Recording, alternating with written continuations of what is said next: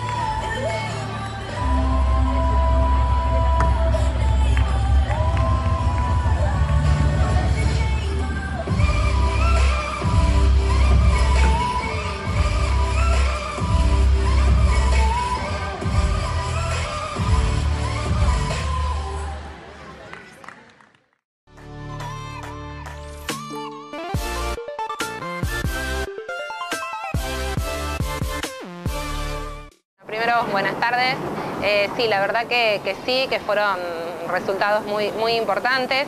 Eh, para llegar al regional también fue un camino bastante largo de, clasificar a lo largo de tres zonales, después clasificar en el provincial, que el provincial fue muy difícil, eh, de mucho nivel. bueno, por suerte obtuvieron la clasificación a este campeonato regional que también daba la clasificación al campeonato nacional. Bueno, participó Aramí Castañares, que en la categoría segunda 11 años en la especialidad libre obtuvo el sexto puesto y eso le dio el pase al nacional, clasificando al nacional. Y también eh, Constanza Simoni, eh, en la categoría tercera, 10 años, en la especial... ella participó en las dos especialidades porque había clasificado por las dos especialidades. Eh, en escuela eh, obtuvo el segundo puesto y en libre salió campeona regional con un muy buen programa. En realidad me sorprende porque este año es un nuevo sistema de, de juzgamiento que se está empleando, entonces bueno, fue eh, todo el año de, modificar bailes, de, cambiarlos para hacerlos...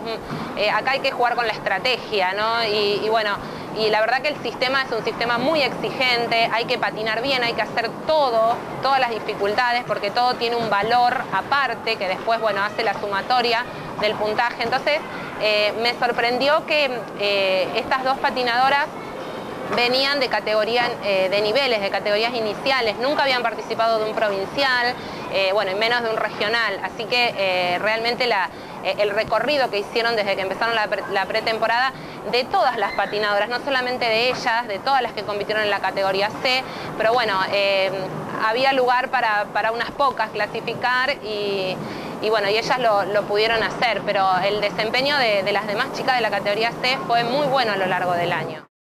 Sí, yo les expliqué desde, el principio, desde que se empezó a implementar este, este, sistema, ellas lo tienen bastante claro también, se los expliqué bien claro porque son ellas las que patinan y ellas tienen que saber también que, el error que se comete eh, es un error que que no, tiene valor, o sea, la, dificultad, antes el, sistema de jugamiento era más subjetivo, si al juez le gustaba, por más que había fallado, eh, daba su puntuación. Ahora no, ahora el sistema es el mismo sistema que, las competencias de patín sobre hielo, es un sistema eh, exacto, que, que es por computadora, que es a través de, mientras van patinando las chicas, se las va filmando, entonces eh, los jueces tienen la posibilidad de, una vez que terminó de patinar, de ver el video nuevamente para ver los errores o para ver algo que no hayan eh, juzgado bien. Eh, como te dije, es un sistema exigente, pero ellas lo tienen bastante claro y, bueno, yo trato de, explicárselos y que, y que sepan lo que está bien y lo que está mal adentro de este nuevo sistema.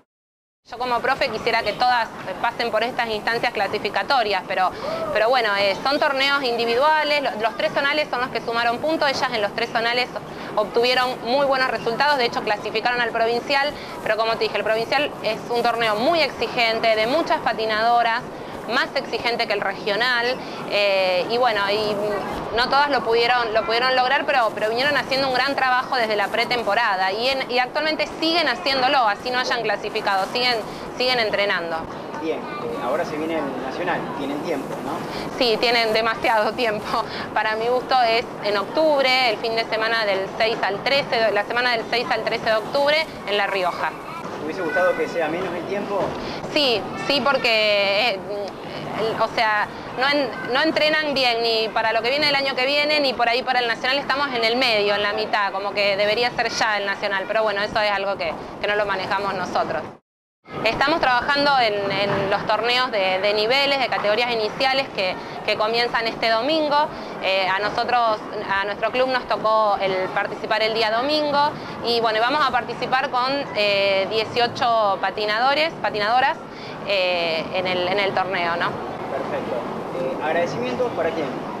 No, siempre para los padres que, acompañan, que, están apoyando incondicionalmente. Bueno, la subcomisión que, trabaja a full, de hecho está haciendo una, actividad que, tiene un gran éxito ahora. Eh, todo para juntar dinero para todas, para, poder empezar con el festival y bueno, y al club que nos da la posibilidad de patinar.